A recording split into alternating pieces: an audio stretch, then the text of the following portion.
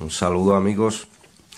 Como en esta semana de febrero, día 13 concretamente, se celebra el Día Mundial de la Radio, quería hacer un poco de historia eh, concretamente con el proyecto que traigo entre manos, que está relacionado con los vídeos anteriores de la radio solar. Pues mira, en este manual de radio de un tal RJ de Darnex, esto fue traducido al español, supongo que fue traducido, porque el nombre por lo menos no es español, ¿eh? por la editorial Bruguera en el año 1957. Ya en, en aquellos años se hablaba de la energía solar y de las placas solares, cosa que fue inventado pues años antes, porque cuando ya se llegaron a realizar proyectos estaba inventado de antemano. ¿no? Como podemos ver, aquí en este libro nos habla de un receptor solar, creo que, que se aprecia perfectamente, receptor solar a transistores, ¿no? Ya en aquellos tiempos, pues estamos hablando que el libro del año 1957, del siglo XX, obviamente, ¿eh? y nos habla, eh, eh, fue realizado por primera vez, un modelo en concreto, por Admiral Corporation de Chicago, bajo el número de orden 7L1. Esto ya es historia, pero me ha parecido interesante de, compartirlo. ¿no? Habla aquí del esquema, ¿no? Eh, esto, se esto empezaron a surgir cuando se inventó el transistor, se puso en práctica el transistor, entonces eh, debido al bajo consumo de los transistores respecto a las válvulas de vacío, pues se podían realizar estos tipos de, proyectos. ¿no? Este es el esquema de aquel radio, se ve que llevaba solo un solo transistor, su bobina, su...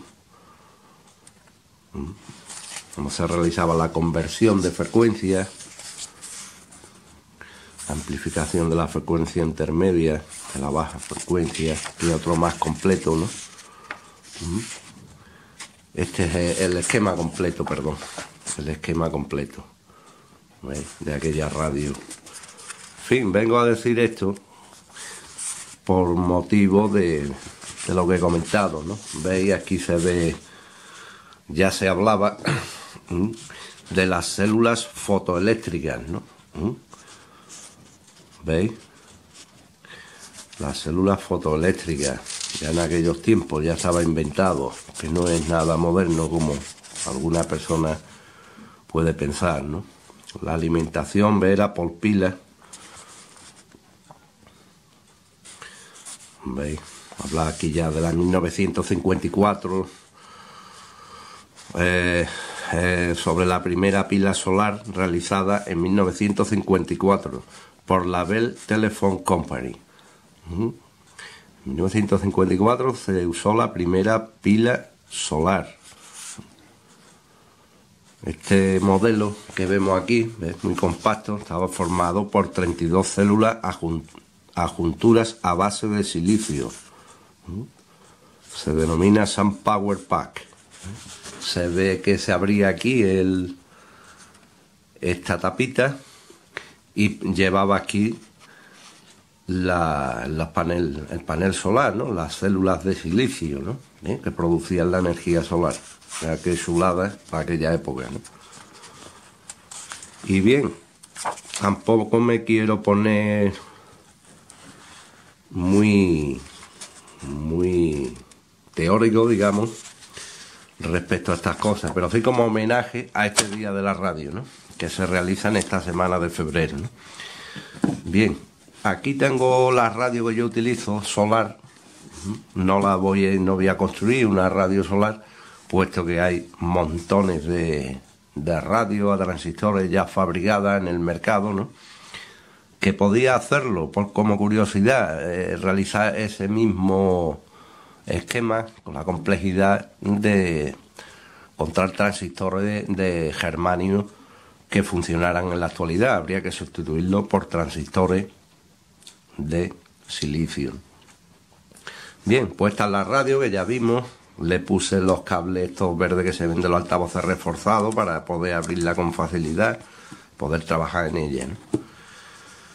Aquí, como visteis en el esquema anterior, estos son los dos. Uno es un interruptor on-off. Podéis ver el vídeo anterior, vídeo anterior, donde veo el esquema para que comprendáis cuál es la, la idea, ¿no? Y el otro on-off on.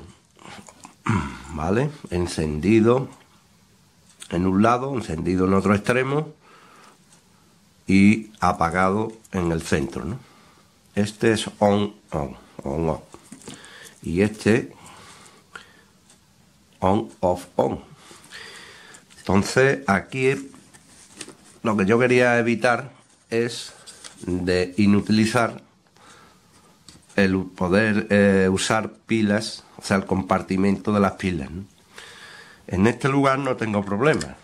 Aquí me cabe, ¿veis? Este hueco. Ahí.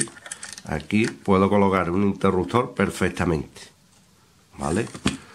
Aquí me cabría el otro, pero me pilla la parte de abajo del, de la radio no podría ponerla de pie. Tendría que poner tumbada y podría colocarlos los dos aquí. Una de las opciones que tengo, ¿no? Estoy barajando. Uno aquí cabe seguro. Y como aquí no me estorba, aquí no hay nada en la tapa, aquí tenemos otro hueco, pero pero cuando yo cerrara la tapa me va a tropezar con los cables de, del altavoz. Tendría que bajarlo aquí abajo al máximo y es posible que aún así no cierre. Bien, pues esta es la idea, ¿no? Esta es, va a ser mi, esta es mi radio solar, ¿no? Proyecto de lo que más contento estoy y más sencillos son, ¿no? Eh, también vimos en otros vídeos anteriores relacionados con, con esto, van relacionados, que hizo una pequeña pinza disipadora, vídeos inmediatamente anteriores a este, para soldar los cables sin que se estropeen. Se podría colocar con pequeños faston, que yo no dispongo, quizás disponga de alguno, y me evito soldar que se estropee el interior, mecanismo interior, por exceso de temperatura de estos conmutadores. Eh, y bien, dicho esto, aún no lo he soldado. Ya hice unas pruebas, vimos en el vídeo lo que ocurría, que se producía una continuidad entre los dos polos una vez soldados y por lo tanto una resistencia. Se generaba una resistencia que al llevar una batería interna, esa resistencia se transforma en una carga y va a terminar por descargar la batería muy lentamente, pero va a terminar descargando la batería. Y yo quiero que tenga un rendimiento bien, como dije en un vídeo anterior, y si no lo dejo para conectarlo con este micro USB a las placas solares, a un cargador de móvil ¿eh? que es un, en definitiva una fuente de alimentación, con este micro USB, o a mi batería externa, la conecto aquí, mi batería, y lo escucho perfectamente. Ya lo expliqué en otro vídeo. Y bien, entonces voy a proceder a soldarle los cables con la pinza para evitar que el calor penetre al interior y me produzca esa continuidad indeseada. Y si todo va bien procederé a hacer el circuito en el, diagrama que vimos para dejar esta radio solar mucho mejor. Más fácil, más completa y no tendrá que andar conectando y desconectando de aquí. Independientemente que esto se lo pueda dejar o no.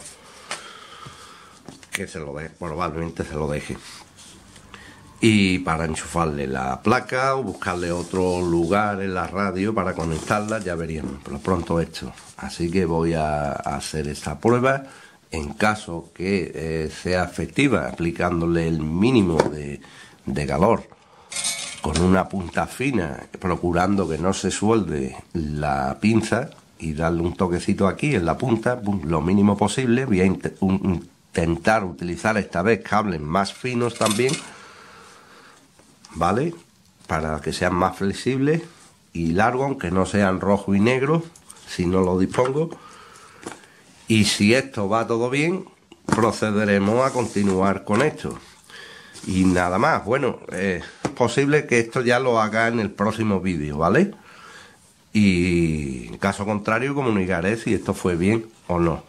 Pero que de este vídeo esta semana, ¿vale? Para explicar esto y, y tengáis, el que no lo sepa, los conocimientos, ¿no? De que esto de las células solares no es nada nuevo, ¿no? Que, que tiene sus años ya también, ¿no? ya os digo, ¿no? Aquí en este manual habla de, de, radio solar, ya lo había, modelos con células integradas, con el panel abatible como habéis visto, ¿eh? ya en aquellos tiempos. Y quiere decir que estaba inventado de antes, ¿no?